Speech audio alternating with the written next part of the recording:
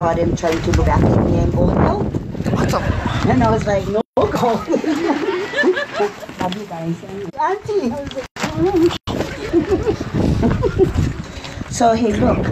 Um, because we never know who's going to be here from aha to aha.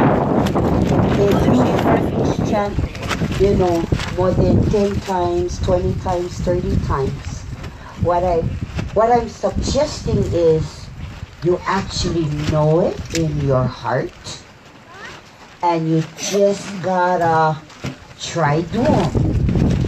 Okay. So right after this protocol um, time, I'm gonna commit. You guys gonna be here? Yeah. You gotta go. You gonna be here today, right? So guess what? You doing one class. Oh, excuse you? Yeah. I check this shit walking on the hot road by yourself. So sorry. So what I suggest is let's give them a small breaky pool. You go run, drink water. I know you go. They're gonna run home to other Kumo and give them job. good. And then maybe like in an hour, they're gonna come back over here and then work with a group of people who are committed to chanting this chant all the way through at least once during the next protocol. Okay, raise your hand if that's you. Bra, you see, uh, welcome. Ain. Arhua Hanau. Our cousins. The people that live across the ocean from us. We'd like to invite our, our beloved warriors who fight for their mountains and our mountains, who love their water the way we love our water, whose fish talk to them the way our fish talks to us. And we'd like to invite them to do any formal presentation.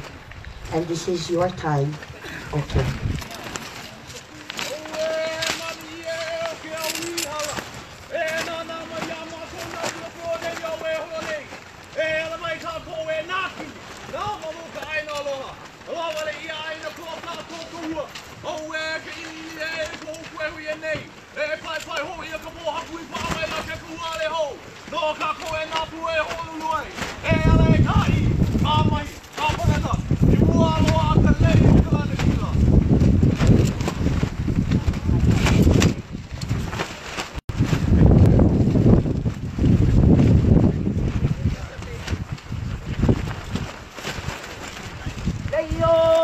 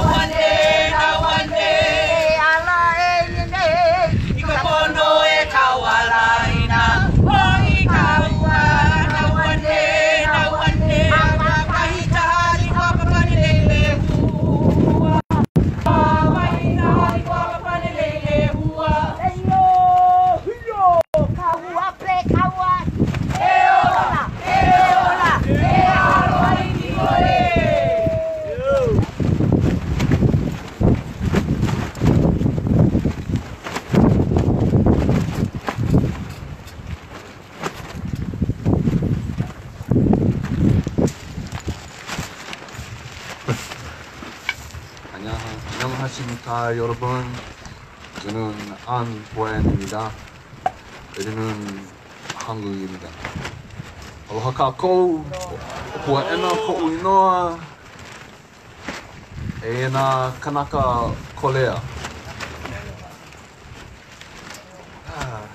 o hiki mai mako no ka a, no ka haawi aku ana i ke roha ko kupu o kawanao a me uh, kekahi mele kokole a me kekahi hai no hoi uh, for everyone who ole ole Hawaii and don't hango I'm Buena and we are Korean today uh, well yesterday in Korea because of time difference but today is Korean Liberation Day.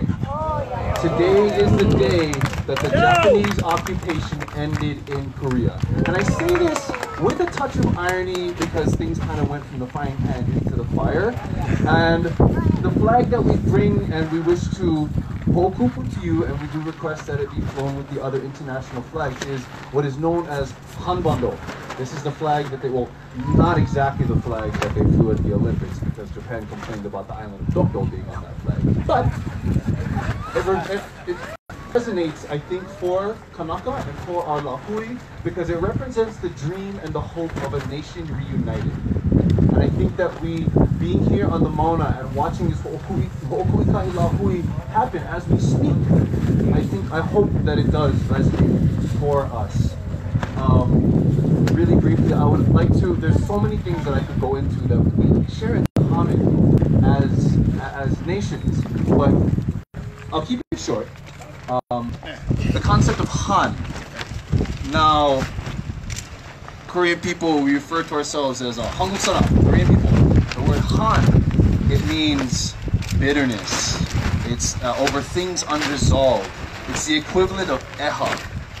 And to have that bitterness and that pain over things unresolved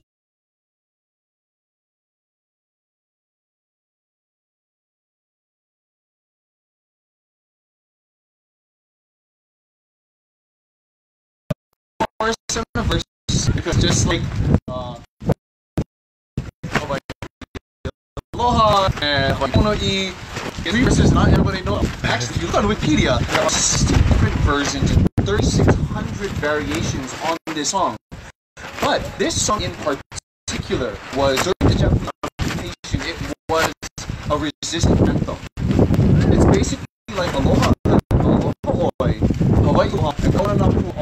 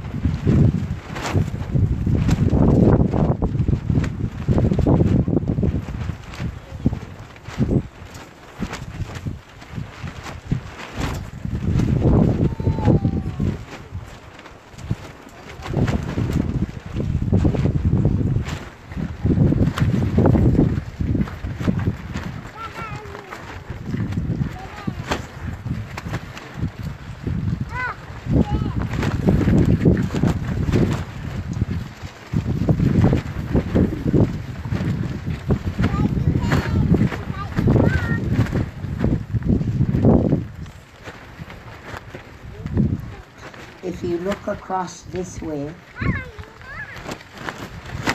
right there, no, no. he,